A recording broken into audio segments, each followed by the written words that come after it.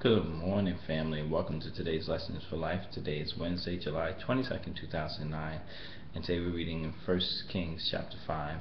And before I begin, uh, I encourage you, as always, to read it for yourself, see what you get from it. Email us, and we will put it on the blog. But this chapter, I'm going to bring up two uh, points for Lessons for Life in this chapter. And the first being that uh, you see Solomon saying that, you know, Lord has given him rest from his um, enemies and from you know being in strife or fighting with anyone. And one thing you can see that he doesn't just now sit back and relax because you know he doesn't have anybody to fight, but now he says, okay, well now let me build something for the Lord.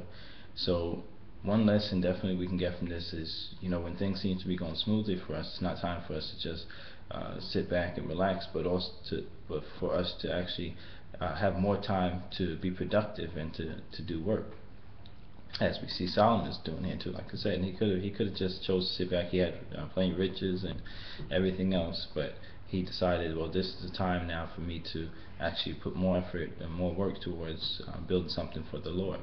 And now, in addition to that, you see he enters into a, a relationship with Hiram, and the second lesson for life I want to bring up is just how they're able to have a successful relationship working together. It's not a one-sided relationship because uh, Solomon is getting uh, the logs and the uh, materials and so forth to build uh, what he's building, and in return he's giving them uh, food and oil. So their relationship is one where they're both giving and they're both receiving, which is actually how a relationship should be. It shouldn't be a one-sided thing where just one person is continually giving and the other one's just continually receiving, but there's time that you give and there's time that you receive, and that's how the relationship works together, and the two can be in uh, cooperation together.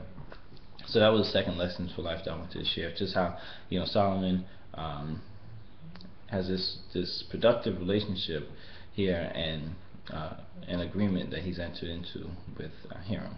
So with that, that is today's lesson for life. Create yourself a wonderfully blessed day today, and we'll talk again tomorrow.